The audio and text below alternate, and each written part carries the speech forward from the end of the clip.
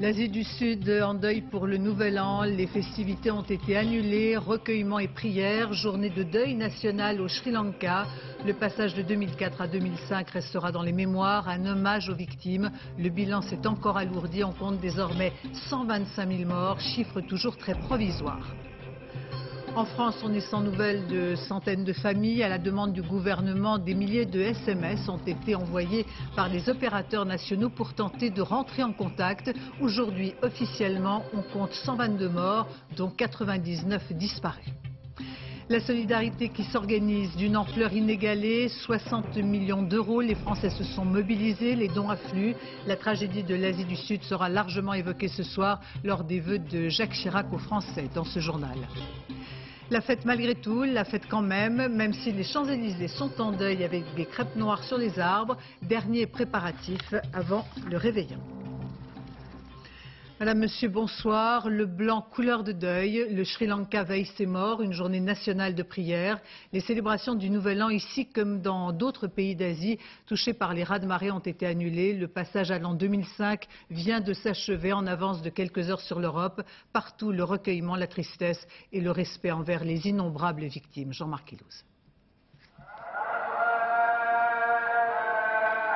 Prière du vendredi, mais nouvel an de deuil pour l'Indonésie plus grand pays musulman du monde, 220 millions d'habitants, et aujourd'hui le pays le plus touché par le séisme. 80, 100 000 morts peut-être. Mais au tournant de l'année, les prières des habitants de Jakarta vont vers leur corps-légionnaire de la province d'Aceh, à 2000 km au nord. Aceh, où il a bien fallu se résoudre à brûler des cadavres anonymes, où chacun dans cette mosquée a perdu un proche, où l'imam ne pourra réprimer une larme.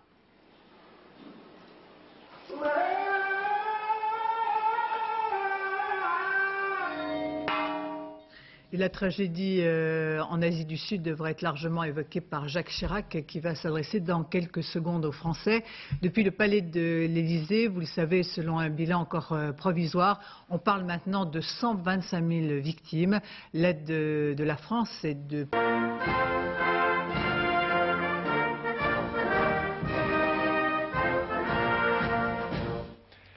Mes chers compatriotes de métropole, d'outre-mer, de l'étranger, nous sommes tous euh, bouleversés par la terrible catastrophe qui a semé la mort, l'horreur et la dévastation dans l'océan Indien.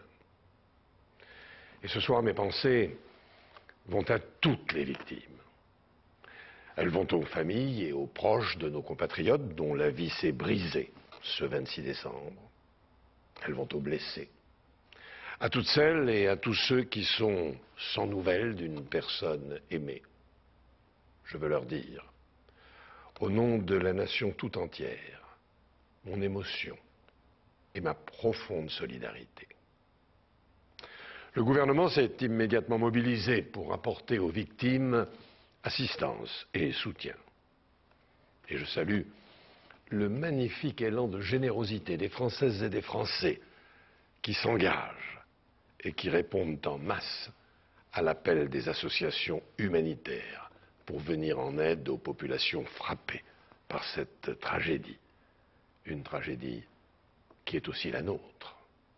Car chacun ressent aujourd'hui à quel point, par-delà les distances, nous formons une seule et même humanité dont le destin ne se distingue pas de celui de notre planète.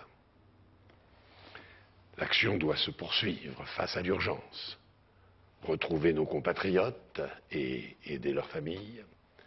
Renforcer les secours et l'aide humanitaire.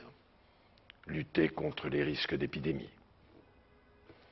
Au-delà, la France et l'Europe mettent en place des moyens exceptionnels, et notamment un moratoire sur la dette, pour permettre la reconstruction des régions dévastées et la reprise de l'activité de populations qui ont tout perdu.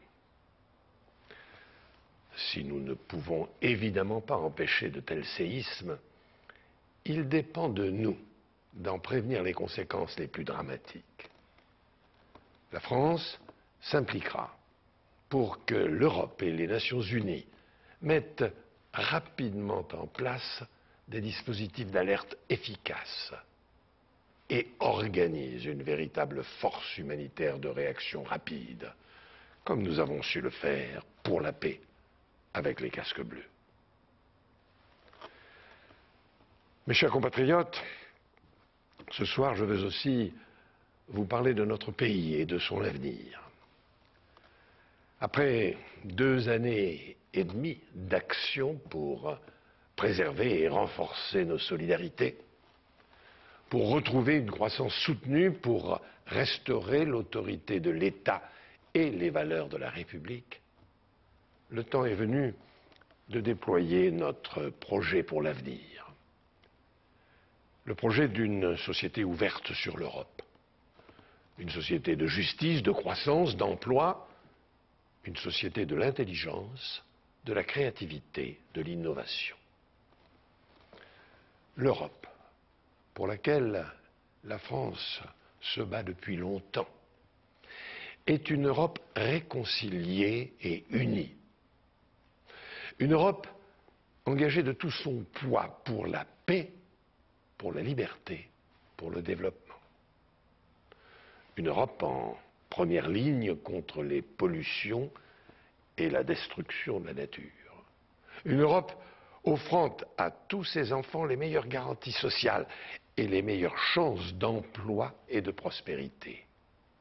Une Europe qui s'appuie sur les nations, qui les rassemble pour leur permettre de compter face aux grands ensembles du monde. En 2005, vous aurez l'avenir de cette Europe entre vos mains. J'ai en effet décidé que la Constitution européenne vous sera soumise par référendum avant l'été. Ainsi, vous, peuple souverain, serez appelé à choisir vous-même votre destin. En approuvant la Constitution européenne, vous permettrez à l'Europe d'être plus démocratique, plus volontaire, plus puissante. Vous la rendrez capable de progrès économiques et sociaux plus rapides. Et vous permettrez à la France de peser davantage dans l'Union. Entre le repli et l'ouverture, le choix que nous ferons sera décisif. Ce choix engage l'avenir de la France et de l'Europe. Il ne devra être altéré ou détourné par aucune autre considération. C'est pour nous tous une très grande responsabilité. Bâtissons aussi une société qui donne ses chances à chacun, une société de croissance, tournée vers l'activité et vers l'emploi. Depuis 2002, le gouvernement de Jean-Pierre Raffarin a pris les mesures nécessaires pour faire repartir notre économie en privilégiant le travail, le soutien à la consommation et le dynamisme de nos entreprises. 2004 aura été la meilleure année de croissance de ces quatre dernières années.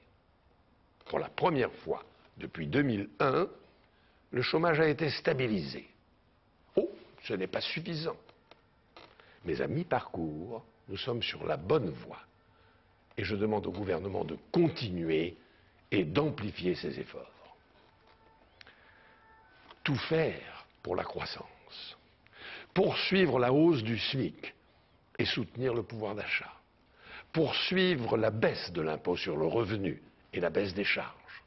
Continuer à maîtriser nos dépenses, encourager l'investissement en mettant en œuvre la réforme de la taxe professionnelle, permettre à celles et à ceux qui veulent gagner plus de travailler plus, donner plus de droits aux consommateurs, développer la concurrence, encourager l'exportation et renforcer notre présence sur les grands marchés émergents. Tout faire pour que cette croissance profite à l'emploi. J'ai voulu que l'ensemble des pouvoirs publics se mobilisent au service de notre cohésion sociale. Et la loi vient d'être votée. Nous avons maintenant de nouveaux moyens d'action pour développer l'emploi des jeunes, pour ramener vers l'activité les allocataires de minima sociaux, pour lutter contre les discriminations à l'embauche, pour moderniser le service public de l'emploi, pour aller à la conquête de tous ces emplois non pourvus, en particulier dans l'artisanat et dans les services aux personnes où les besoins sont immenses. Tout faire enfin pour être au rendez-vous des technologies qui créent les emplois de demain. Les succès industriels se préparent longtemps à l'avance. Les programmes des dernières décennies, comme le TGV, le nucléaire, Airbus, Ariane, font encore la force de notre industrie. Et j'ai demandé au gouvernement de lancer, en soutien de nos entreprises et avec nos partenaires européens, les projets industriels qui tireront la croissance de demain et nous permettront d'accroître notre avance technologique. Nous irons ainsi résolument vers une société de l'innovation et des hautes qualifications. Elles seront la première source de dynamisme et de richesse du XXIe siècle. C'est dans la compétition avec les pays les plus en pointe que se joue notre place. C'est pourquoi j'ai voulu également qu'une réforme vienne aider notre école à s'adapter aux exigences et aux défis de notre temps. La loi d'orientation commencera à s'appliquer dès la rentrée de septembre. Elle est capitale pour la réussite de chaque enfant et pour le dynamisme de la nation tout entière. Donnons en même temps à notre recherche les moyens de se mobiliser au service de notre avenir. C'est l'ambition de la réforme que le gouvernement prépare avec la communauté scientifique. Et mettons notre enseignement supérieur en capacité de rivaliser dans tous les domaines avec les universités les plus performantes du monde. Mes chers compatriotes de métropole, d'outre-mer, de l'étranger, je souhaite à chacune et à chacun d'entre vous une très heureuse nouvelle année. Pour celles et ceux qui abordent cette nouvelle année dans la solitude, la détresse ou la maladie, je veux exprimer mes pensées les plus chaleureuses. Je veux aussi rendre hommage en votre nom à tous, à nos soldats, engagés sur tous les continents au service de la paix. Ils accomplissent leur mission avec un courage et un professionnalisme exemplaire. Notre nation est solidaire, ambitieuse, volontaire, fière de ses valeurs. C'est sur vous tous que repose son avenir. Et c'est à vous que je veux dire ce soir ma confiance en vous exprimant mes voeux les plus chaleureux pour 2005. Vive la République et vive la France.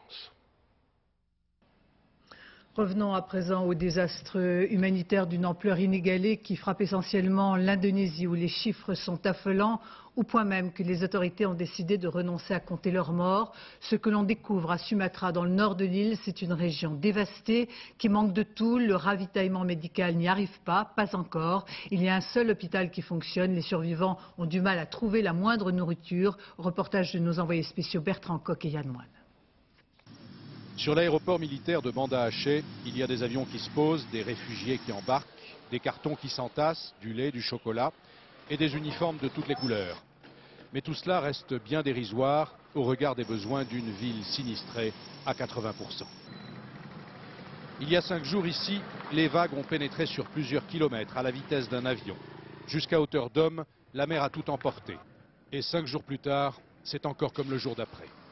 Les militaires ont ouvert des fosses communes, mais des dizaines de corps sont toujours prisonniers des gravats. Cet homme dit qu'ils sont trop peu nombreux pour ramasser tous les cadavres. Même pour déblayer, il n'y a plus assez de monde. Les enfants compteraient pour 40% du total des victimes.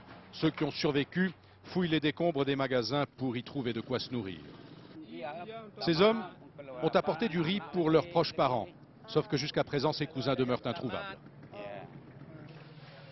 Le principal hôpital a été dévasté. Dans les centres de soins, les blessés s'entassent dans les couloirs, laissés pratiquement sans soins à la garde de leurs proches. Ce médecin-chef, qui s'apprête à recevoir le renfort d'une équipe médicale de l'armée australienne, nous dit quels sont ses besoins les plus urgents. De l'eau et de quoi nourrir ses patients. Les premières pneumonies font leur apparition et elles sont meurtrières, ce que confirme le médecin-major de Canberra. D'abord, les gens mouraient de leurs blessures, dit-il. À présent, ce sont les infections pulmonaires qui les tuent. L'étendue des dégâts est tellement impressionnante qu'on voudrait pouvoir tirer le rideau sur cette désolation. Nettoyer, reconstruire, revivre ici, les survivants de Banda Haché en auraient-ils le courage qu'ils n'en ont certainement pas les moyens? Et nous retrouvons Bertrand Coq qui est à Sumatra depuis hier. Euh, vous avez constaté vous-même une, situation sanitaire effrayante où il faut faire euh, très vite. Oui, je m'étais trop avancé hier soir en vous disant que la situation ici tendait à s'améliorer. Il suffit de sortir du centre de Banda Haché pour comprendre qu'on est loin d'avoir pris toute la mesure de ce qui s'est passé ici dimanche dernier.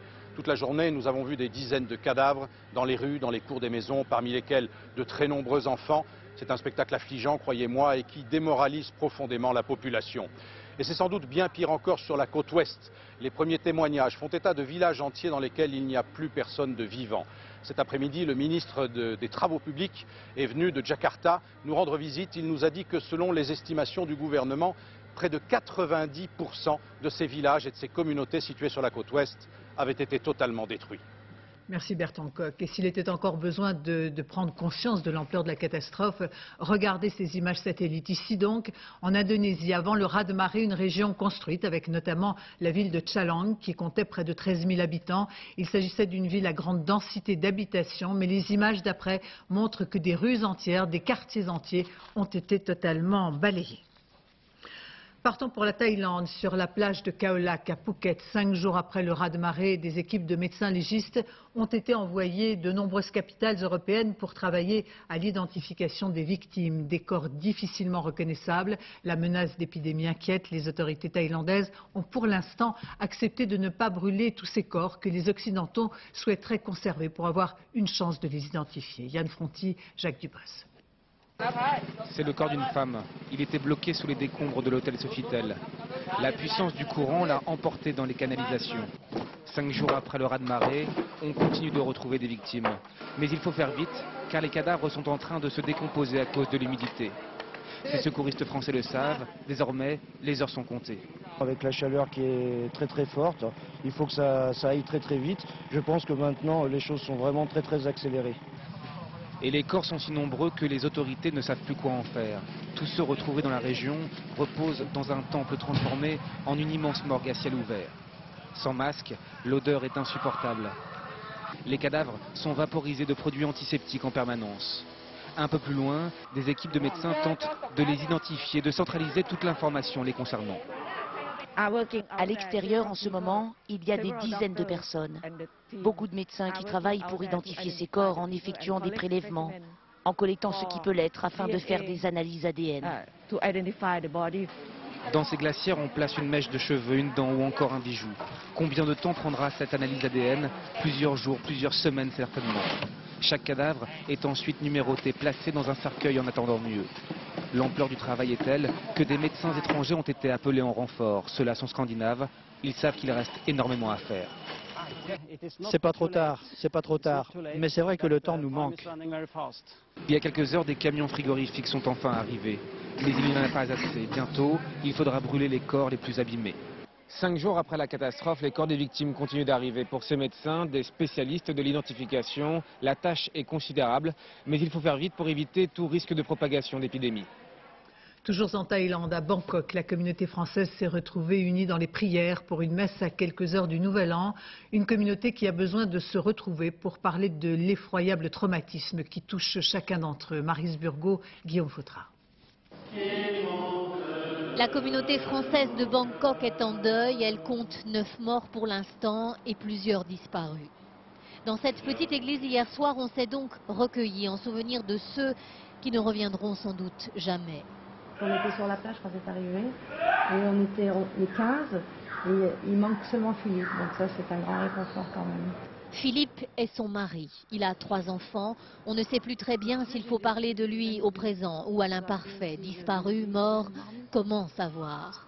Son épouse vient de rentrer de Phuket. Elle l'a cherché pendant plusieurs jours. Puis, elle s'est résolue à rentrer dans sa maison de Bangkok pour réconforter ses enfants, tout aussi traumatisés qu'elle.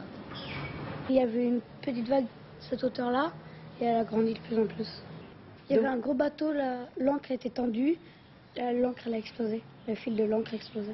Et moi je me souviens de la, je me souviens pas d'un magalo, mais d'une sorte de petit euh, entrepôt qui était sur le sommet de la vague. Ils étaient tous sur la plage au moment de la catastrophe. Aujourd'hui, cette femme ne croit plus guère au retour de son mari, même si un espoir demeure. Il y a des gens qui étaient choqués, qu'on retrouve encore, qui n'ont jamais bougé de la montagne. En plus, Pipi est d'accès difficile. Phuket, il y a plein de montagnes. Il y a des gens qui ont tellement été choqués qui ne bougent pas. À l'Alliance française de Bangkok, Pascal trouve un peu de réconfort auprès d'un psychologue, pendant que les volontaires recoupent encore et encore les informations pour tenter de recenser les victimes. Il n'y a pas que les touristes français venus de France qui sont concernés. Il y a aussi tous ces expatriés français qui vivent en Asie et qui étaient en vacances sur les plages de Phuket pour les fêtes de Noël, vraisemblablement plusieurs centaines de personnes. À Phuket, où la plupart des victimes sont des Occidentaux, des familles françaises sans nouvelles de leurs proches ont voulu coûte que coûte faire le voyage pour être euh, au moins sur place à la recherche de la moindre trace, du moindre indice, comme le montre ce reportage de Philippe Rochaud et Sylvain Guillaume qui ont suivi ce Français d'origine africaine. La maison du gouverneur de Phuket est l'étape obligée pour celui qui recherche un proche. On y recense ici les personnes disparues. C'est là que nous avons rencontré Hervé, d'origine camerounaise, à la recherche de sa sœur Berthe, disparue pendant ses vacances au Sofitel. C'est pas facile de rester à des kilomètres et qu'on vous dise de ne pas venir et vous avez quelqu'un qui est disparu, perdu, sans nouvelles. Ça, vaut la peine de venir. Hervé retrouve ici Thomas, le compagnon de Berthe, qui a pu échapper au raz-de-marée et la recherche en vain depuis dimanche mais difficile pour eux d'affronter les photos des personnes disparues.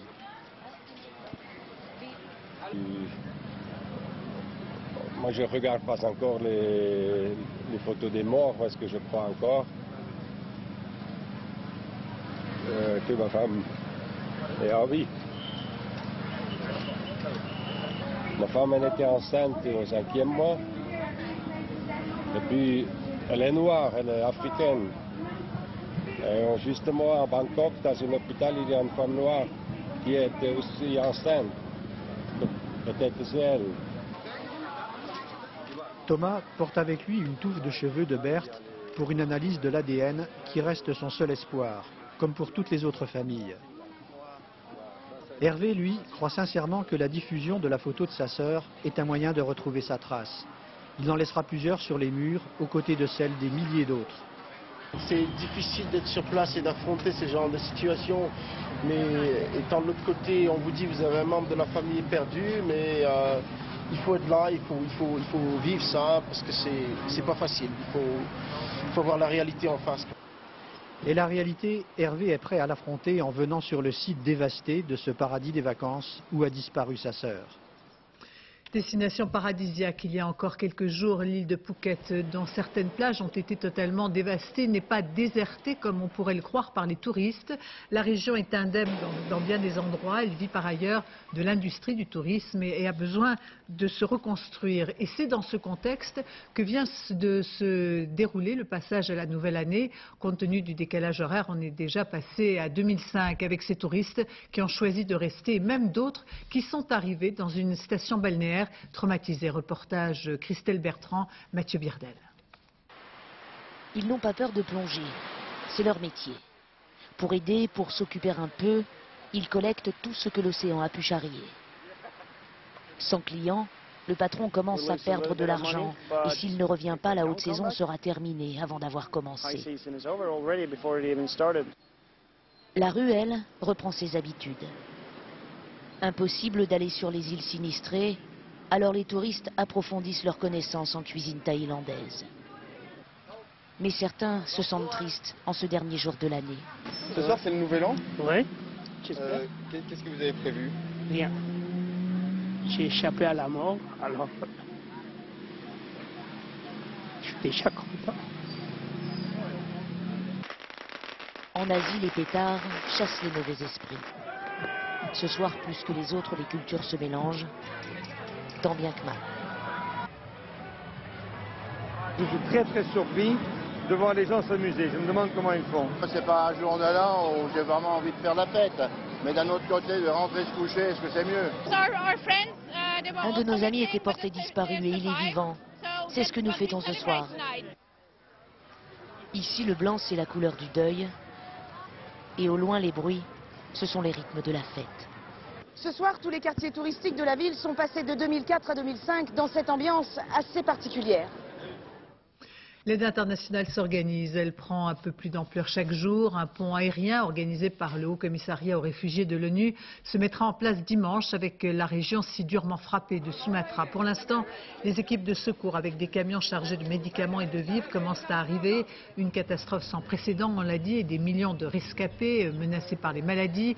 La distribution se heurte à l'état des routes et les stocks d'essence qui sont insuffisants. C'est une lutte contre la montre qui s'organise pour soigner les blessés. Au Sri Lanka, je vous le disais au début de ce journal, le Sri Lanka a été décrété une journée de deuil national. Une de nos équipes s'est rendue au sud-est, dans la deuxième région la plus touchée. Reportage Loïc de la Mornay, Didier Dahan. La marine de guerre sri-lankaise n'a pas résisté à la vague. Autant dire que le voilier d'Antonino non plus. Pour cet Italien, son tour du monde commencé il y a deux ans s'est achevé prématurément dans le port de Galles. Mon bateau était là, là, là, euh, avant de la rocher. J'ai senti un bruit très fort et, et je suis tourné, tourné, tourné. Il s'est agrippé à sa coque de noix et la mer l'a miraculeusement déposé sur le quai. Désormais, pour Antonino, la vie se fait par 35 degrés, pour la chaleur comme pour l'inclinaison. Quoi qu'il arrive, il restera à bord pour surveiller son bateau. Je, ne peux pas abandonner ma maison. Pourquoi? Le voleur va apprendre tout. Le port de Galles était le plus important de la région. Avec ses destructions, c'est le principal point de ravitaillement de la côte sud qui disparaît à l'heure où les vivres et les matériels font cruellement défaut. Nous n'avons plus de glace pour conserver les poissons car il n'y a plus d'électricité. Et nous n'avons plus d'essence non plus pour les bateaux. C'est dommage, on ne peut plus pêcher pour nourrir les gens alors qu'ils ont très faim. Les pêcheurs de Galles sont aujourd'hui au chômage technique, mais au moins ils n'ont eu qu'une cinquantaine de tués dans leur rang. Le jour de la catastrophe, la plupart de ces bateaux de pêche étaient en mer. Le niveau de l'eau est monté bien sûr, mais en haute mer, ils ne s'en sont pas rendus compte. Ce n'est que de retour au port qu'ils ont découvert leur famille décimée et leur ville dévastée.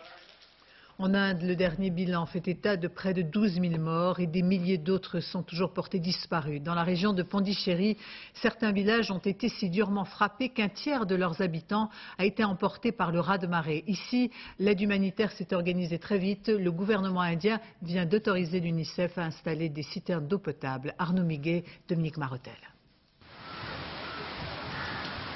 Cinq jours que Sanuja dort là, près des vestiges de sa maison dévastée. Il y a une semaine encore, l'endroit était paradisiaque. C'est aujourd'hui un véritable champ de ruines. 20 km au sud de Pondichéry, le village de Koudalor a perdu le tiers de sa population. C'est l'endroit le plus touché de la région, 500 morts. Sanuja nous explique qu'elle ne partira pas, qu'elle n'a rien à manger, plus d'argent et qu'elle ne peut plus supporter la distribution de nourriture. Tout le monde s'y bouscule, elle a déjà été blessée. À quelques mètres de là, c'est la foire d'empoigne. Ces scènes se répètent tous les jours depuis le drame. L'aide arrive, la distribution de vêtements, de riz, de lait ou d'eau, mais elle se fait dans le chaos et les habitants sont en colère contre le manque de coordination. Le gouvernement ne fait rien pour nous, dit cette jeune femme. La priorité des autorités semble ailleurs, la prévention d'épidémies. C'est pour cela qu'elles ont autorisé l'UNICEF à installer des citernes d'eau potable, car l'eau est un élément majeur dans la prévention des risques de maladies. Autre mesure, les rues sont régulièrement désinfectées avec cette poudre blanche. Normalement, on brûle nos morts, mais le gouvernement a décidé par mesure sanitaire de les enterrer pour éviter les épidémies. Enfin, dans les dispensaires installés dans le village, On vaccine la population à tour de bras. Mais on ne prononce jamais le mot de choléra pour éviter une nouvelle psychose chez une population déjà très marquée. Pondichéry est l'une des régions qui avait été le plus touchée par la catastrophe de dimanche dernier. Les risques sanitaires sont bien présents, mais les autorités ont su prévenir. En France, selon les chiffres officiels, il y aurait pour l'instant 23 morts, 99 disparus et 400 blessés. Des chiffres qui pourraient être revus à la hausse compte tenu du nombre de touristes dont on est sans nouvelles. C'est pourquoi le gouvernement a demandé aux ressortissants français qui se trouvaient en Asie ces derniers jours de se manifester. Plus de 13 000 SMS ont été envoyés, un message acheminé par les trois opérateurs nationaux. Aurélia Guima, Zindenberkus. Ce message a déjà été envoyé vers 13 000 téléphones portables de ressortissants français. À la demande du gouvernement, si vous étiez le 26 décembre dans la zone du séisme, appelez le ministère des Affaires étrangères. SFR, Bouygues Télécom et Orange, les trois opérateurs de téléphonie mobile, ont ainsi reçu le même ordre, tenter de contacter tous leurs clients présents en Asie du Sud au moment du séisme. En milieu d'après-midi, nous avions déjà près de 60% de messages qui avaient été euh, reçus par les mobiles et la condition est donc que euh, le mobile soit allumé. À la cellule de crise du Quai d'Orsay, l'initiative a semble-t-il déjà porté ses fruits. Au milieu des centaines d'appels en détresse, de plus en plus de bonnes nouvelles. Ce sont des gens qui se, ce sont des gens qui se signalent, qui signalent leur retour. Bon, euh, sinon avant c'était un peu variable. Il y a eu une vague de SMS, je crois. Donc les gens ont été invités à se signaler et le font, surtout ceux qui viennent de Thaïlande. Selon un dernier bilan officiel, on compte 22 victimes françaises et 96 personnes portées disparues. Est-ce que vous avez sa date de naissance? En lien direct avec les familles concernées, policiers et gendarmes de la cellule d'identification des victimes tentent de recueillir le maximum d'informations concernant les disparus. Chaque détail compte un bijou particulier ou euh, un petit objet euh, qui sera avec la personne ou même parfois un vêtement que porte la personne et que les témoins auront vu sur place disparaître avec. Autant d'informations transmises aux policiers chargés de l'identification des corps sur place. Grâce notamment aux analyses ADN, on estime que deux tiers des victimes françaises pourraient être ainsi identifiées. Et les premières euh, cérémonies en hommage aux victimes, comme à Soissons, dans la cathédrale, un millier de personnes se sont retrouvées pour cette messe à la mémoire de trois enfants, trois jeunes frères morts à Phuket. Les parents et la sœur, âgés de 8 ans, ont réussi à se réfugier sur un toit. Ils étaient présents à cette cérémonie. C'est toute une commune qui est en deuil. Le grand-père des victimes est conseiller municipal. Et chaque jour, les vols en provenance d'Asie du Sud ramènent en France des vacanciers. Une cellule d'urgence a été mise en place pour accueillir ceux qui sont les plus choqués ou traumatisés. Reportage Laurence de Scherf et Pierre-Yves Deménic. Raconter le drame, c'est déjà pour certains rescapés un début de thérapie. Cette famille réunie miraculeusement a besoin de parler, une manière d'évacuer les images et les sons que chacun a ancrés dans sa tête. D'avoir à regarder en fait toutes les listes et toutes les photos des gens qui étaient morts décédés, enfin qui étaient décédés, qui étaient, ça c'était le pire. Et d'entendre les gens hurler parce qu'ils étaient à la recherche de, de leur famille, euh, ça c'était atroce, c'était le pire. Dès la descente d'avion, les passagers de retour d'Asie peuvent être pris en charge par la cellule d'urgence. Ceux qui le souhaitent évacuent leur angoisse ou leur douleur face à la perte d'un proche auprès de médecins ou de membres de la Croix-Rouge. Certains devront longtemps faire face à des troubles psychologiques. État dépressif, euh, des images parasites qui surviennent, des réviviscences de ce qu'ils ont vécu. Et ça, euh, si ça persiste, il faut absolument qu'ils consultent un psychiatre. S'habiller, obtenir de nouveaux papiers d'identité, voire un peu d'argent liquide, une priorité pour ceux qui reviennent les mains vides. Il y en a qui avaient perdu leur argent, leur papier, leur carte bleue, qui avaient juste leur t-shirt et euh, euh, un maillot de bain et des tongs. Ils sont arrivés pratiquement nus. Donc euh, il a fallu bah, les réconforter et puis les habiller. Aujourd'hui, les retours étaient moins nombreux. Seuls 18 touristes français ont transité par cette cellule d'urgence contre 320 depuis le début de la semaine. Et puis il y a les miraculés comme cette famille originaire d'Arras dans le Pas-de-Calais. Ils étaient 12 en vacances de Noël à Phuket, séparés lors du raz-de-marée. Les plus jeunes pensaient être orphelins. Heureusement, l'histoire se finit bien. Nicolas Luiset, Patrick Rustam. Pendant plusieurs heures, ils ont envisagé le pire. Étienne et Michael, les deux plus jeunes, avaient pu partir se réfugier dans la montagne. Mais ils savaient que Louise et le reste de la famille n'avaient pas eu le temps de quitter leur bungalow, prisonniers de la montée des eaux. Il nous restait ça pour passer la porte. Donc on a plongé, on est passé. Et donc on a nagé et on s'est accroché à un arbre parce qu'il y avait tellement de courant que on allait se faire emporter quoi. Pour nous, euh, il y avait, y avait qu'un seul truc, c'est qu'ils étaient morts. Parce qu'ils étaient tous morts, parce que les Français ils nous disaient qu'il y avait une deuxième vague, une troisième et tout, et qu'il y avait 3-4 euh, mètres d'eau quoi. Des Thaïlandais recueillent Étienne et son cousin. Ils se croient orphelins. Jamais ils n'auraient imaginé revoir leur famille. On était encore plus désespérés parce qu'il n'y avait pas leur nom sur les listes. Euh, c'était la pagaille totale. On arrive dans un endroit où deux minutes avant, il y avait des corps qui étaient entassés, tout ça. Donc on repart, on pense plus les revoir. Et là, d'un seul coup, on voit mon tonton sur la route en train de marcher. Mon père et écrit, euh, je les ai retrouvés. C'est vrai que quand je les ai vus, au début, je n'osais même pas les, toucher parce que j'y croyais pas. Mais on a, on a pleuré. On a repleuré. Regarde, je m'en souviens bien de ces photos-là. Maintenant, on va voir la vie d'une manière différente, quoi. Ça va plus être pareil pour nous. Partir de, ça, il y a tout qui change. La famille a conscience qu'elle a eu beaucoup de chance. Ils étaient partis à 12, tous ont pu rentrer sains et saufs. En signe de solidarité avec les victimes du raz-de-marée, le Nouvel An sur les Champs-Élysées a pris le deuil. Des crêpes noires, en effet, ont été accrochées aux arbres à la demande du maire de Paris, une initiative symbolique sur la plus belle avenue du monde, où sont attendus des centaines de milliers de Parisiens ou de touristes ce soir.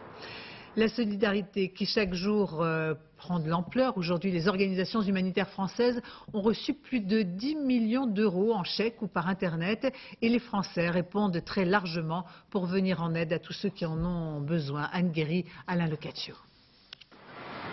Paris, le jour commence à décliner. Au même moment, en Asie, il est minuit et c'est déjà la nouvelle année. Alors, aux marches de l'église Saint-Sulpice, pêle-mêle des hommes, des femmes, pour dire tout ce que les dons et l'argent ne pourront exprimer. De France, on ne vous oublie pas. Votre pays revivra et sera encore très beau. J'ai écrit euh, euh, pendant les fêtes de fin d'année. Nous pensons beaucoup à vous qui êtes dans le malheur et nous vous souhaitons beaucoup de courage en espérant que notre petit geste vous sera utile. C'est aux sinistrés que parviendront ces mots simplement griffonnés. Ils seront acheminés par le secours catholique. Au même instant, c'est de la monnaie sonnante et trébuchante qui tombe dans les urnes de la Croix-Rouge. J'ai donné 100 euros. 150, c'est beaucoup Non. Ils ont la générosité vraiment généreuse. Un justificatif, monsieur, pour une déduction d'impôt? Oh oui, non, non, non, je donne, je donne, c'est pour payer, pour payer mon impôt. T'as mis combien? Moi, 10 euros. Ah, c'est beaucoup. Sur ton argent de poche Ah bon, c'est beaucoup. Et toi? 5. 5 euros? 100 euros. 50 euros. Les dons explosent. 80 euros en moyenne par personne du jamais vu. Au secours populaire, 530 000 euros récoltés en 4 jours, 110 000 déjà alloués à l'aide d'urgence. Le reste, ce sera pour des projets avec les pêcheurs sinistrés. Par exemple, toute la réhabilitation de leur outil de travail peut être un projet euh, énorme. Euh, toute la réhabilitation de leur habitat, euh, des écoles. Pas d'improvisation au secours populaire qui promet de rendre des comptes. Chaque denier dépensé sera justifié. France Télévisions et Le Figaro sont partenaires de la Fondation de France. Si vous souhaitez envoyer vos dons, vous les adressez à Solidarité Asie du Sud, boîte postale 22 75 008 Paris. Dans le reste de l'actualité, cet incendie dans une discothèque de Buenos Aires, 175 morts, plus de 600 blessés. C'est un feu de Bengale jeté dans la foule qui a provoqué le drame. Seules deux portes pouvaient s'ouvrir, les autres étaient condamnées. Un mot de l'Ukraine. Euh, Viktor Yanukovych vient de reconnaître sa défaite. Il a annoncé sa démission de son poste de Premier ministre. En France, à Pau, une information judiciaire a été ouverte pour le meurtre des deux infirmières. Les deux personnes placées en garde à vue, dont un ancien patient, toutes les deux étaient libérées, disculpées par les tests ADN. Et puis euh, les chiffres du chômage, une hausse de 0,2% en novembre. Le taux reste inchangé, 9,9% de la population active. Jacques Chirac, euh, vous l'avez entendu en début de ce journal, qui a redit dans ses vœux aux Français il y a quelques instants sa détermination à faire euh, baisser le chômage. Par ailleurs, le président de la République, à propos de la question du référendum sur la Constitution européenne, a précisé qu'il se ferait avant l'été. À quelques heures du Nouvel An, prudence sur les routes si vous prenez le volant, buvez avec modération. Pour cette nuit de la Saint-Sylvestre, un millier d'éthylotests ont été distribués gratuitement dans la Somme pour le réveillon. L'alcool est la deuxième cause d'accident sur les routes. Christophe Widman. Contrôle de police à Blois aujourd'hui. Aucune contravention distribuée, mais 10 000 éthylotests. Donc à l'intérieur, vous avez une notice explicative. Hein vous avez la petite notice, toute façon, c'est bien expliqué. Hein Je vous souhaite une bonne soirée. Vous comptez faire euh, la fête ce soir, boire éventuellement? Mmh, Sûrement, sûrement. Si on fait pas d'excès au premier de l'an, euh, on fait des excès quand? L'État invite les automobilistes à se contrôler après une soirée bien arrosée. À la préfecture de la Somme aujourd'hui, chaque visiteur a eu droit à son éthylotest. Beaucoup, c'est pour leurs enfants aussi. Ils ont peur pour leurs enfants. Beaucoup de parents. hein. Beaucoup de parents, oui. Beaucoup de gens d'un certain âge, cinquantaine d'années qui sont venus, je pense que c'est tous pour leurs enfants. L'éthylotest gratuit pour rappeler qu'un accident mortel sur trois est lié à l'alcool. Et si la prévention ne suffit pas, les nombreux contrôles de police prévus cette nuit dans toute la France se chargeront de la répression. La fête quand même, euh, le Nouvel An et ses tout derniers préparatifs avant les 12 coups de minuit. Reportage Géraldine d'Alban-Morinas et Vincent Keller. Alors, alors, réfléchissons. Pour faire un bon réveillon, il faut à boire un peu, à manger, quelques disques et surtout, surtout, un lieu. Il nous fallait de la place. non, non, il nous fallait de la place, il nous fallait euh, un lieu euh, atypique comme celui-ci. Et voilà. Et voilà, ils ont donc loué un loft privé 640 mètres carrés, excusez du peu, 3000 euros la soirée, à partager entre la centaine d'invités avec une maîtresse de maison rassurée, encore que. Pas de soucis, après tout peut arriver. Mais je suis là, je veille. Depuis ce matin, les volontaires savent faire. Ils installent, ils protègent, ils décorent et ils n'arrêtent pas. On est à fond dedans. À fond, à fond. Motive, motive, motive. Allez, allez, d'une air, le tour du propriétaire n'est pas complètement terminé. Bien évidemment, règles de sécurité la montre. Profitez-en bien. Ça, c'est le CD qui va passer sur les coups de, de 3h, 3h30 du mat. C'est celui qui est fait pour rebooster un petit peu le truc si c'est tombé, euh, si c'est tombé un petit peu en désuétude. Ah, mais les filles, elles, elles pensent pas du tout à 3h du matin, hein. elles pensent plutôt aux 12 coups de minuit. Ouais, c'est dans le... Pour les copines. Toutes les copines célibataires sont en bas. Allez, allez, plus que quelques heures à attendre. Un mot de sport, euh, première étape du Dakar aujourd'hui, près de Barcelone. Pour cette spéciale de 4 km 6, c'est un Français, David Frétini, qui a gagné la première étape euh, moto sur Yamaha. Du côté des autos, c'est l'Américain Robbie Gordon qui a remporté la super spéciale. Il s'agit de la première victoire d'un Américain sur le Dakar. C'est la fin de ce journal. Je vous remercie de votre attention. Dans un instant, la météo Patrice Drevet. Puis 20h55, le plus grand cabaret du monde sur son 31, présenté par Patrick Sébastien. Je vous souhaite à tous une excellente année. On se quitte avec ces images du feu d'artifice à Sydney en Australie.